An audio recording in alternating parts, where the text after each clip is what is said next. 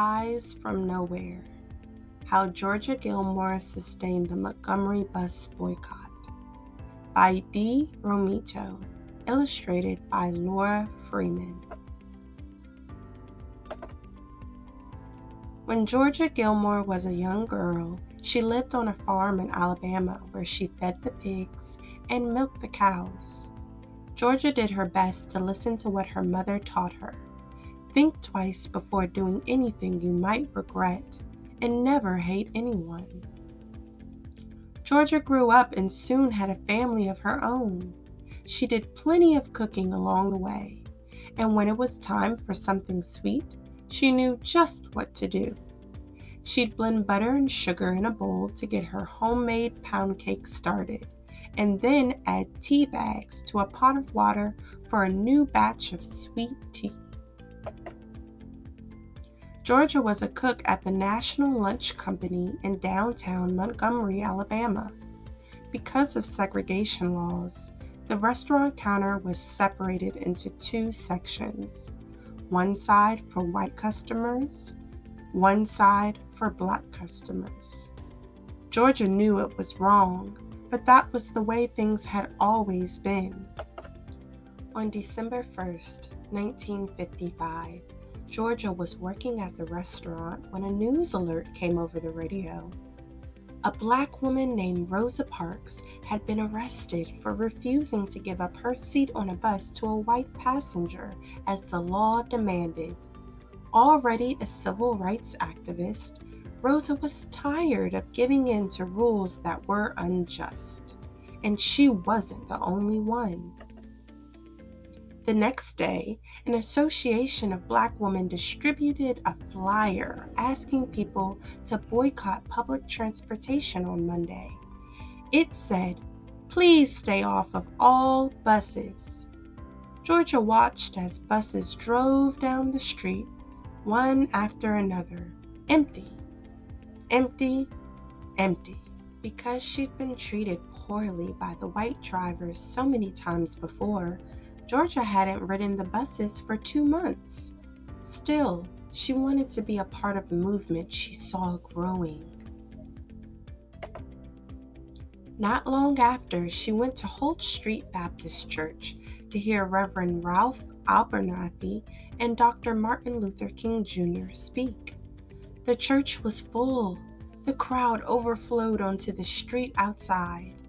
Large speakers had been set up so thousands more could hear.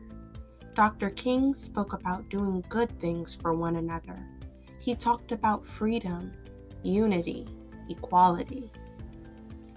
We are determined here in Montgomery to work and fight until justice runs down like water and righteousness like a mighty stream. Those were things Georgia believed in and she was willing to fight for them. So Georgia decided to help the best way she knew how. She worked with a group of women in her community, and together they purchased the supplies they needed bread, lettuce, and chickens. And then off they went to cook. The women brought food to the meetings that followed at the church. They sold sandwiches. They sold dinners in their neighborhoods. As the bus boycotters walked and walked, Georgia cooked and cooked. And boy, did the people of Montgomery love her food. Georgia's group donated the profits from their sales to the Montgomery Improvement Association, which helped fund the boycott.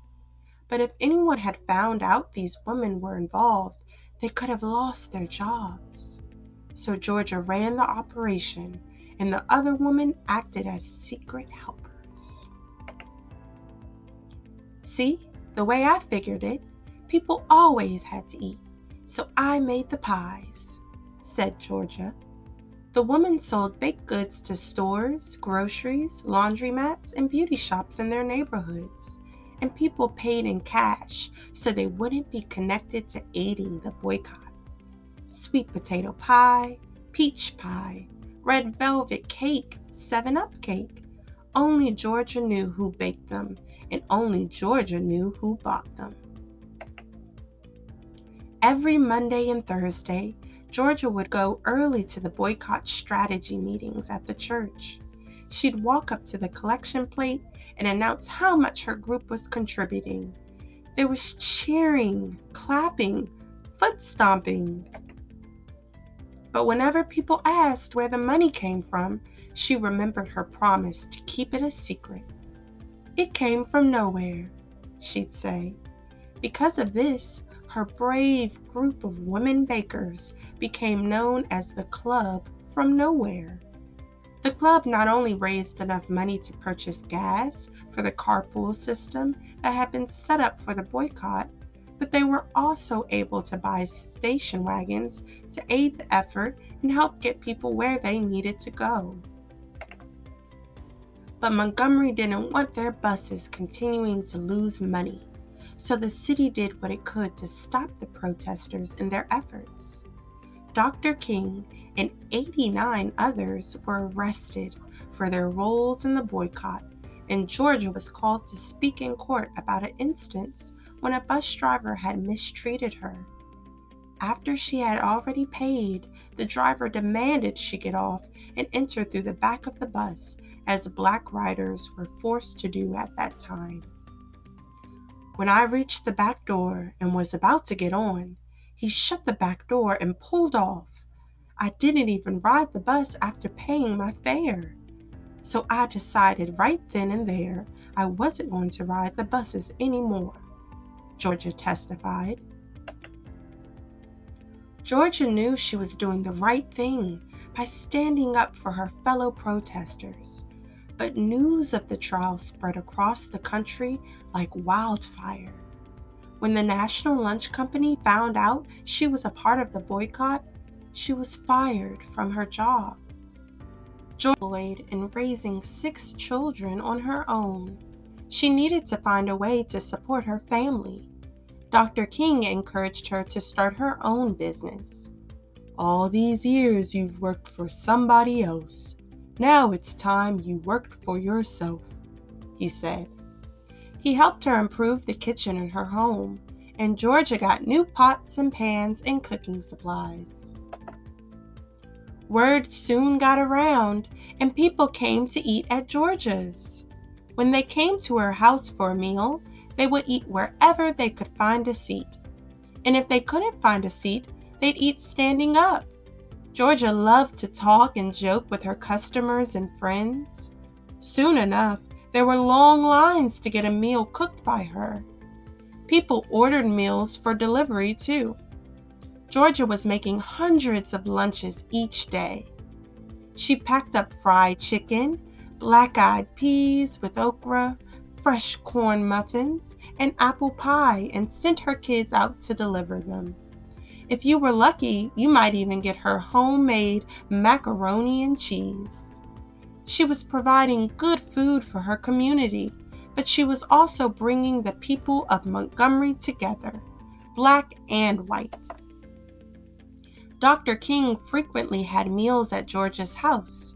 Because she was a big woman with a big personality, he lovingly called her Tiny. And because civil rights leaders knew they could trust Georgia, her home became a place for important and often secret meetings. I just served 'em and let 'em talk, she'd say. On November 13, 1956, Georgia was cooking in her kitchen, listening to music on the radio, when the station interrupted the song to deliver the news. The Supreme Court had declared the segregation on buses was illegal. The boycotters had won. Georgia was thrilled people could ride the bus and sit anywhere they desired.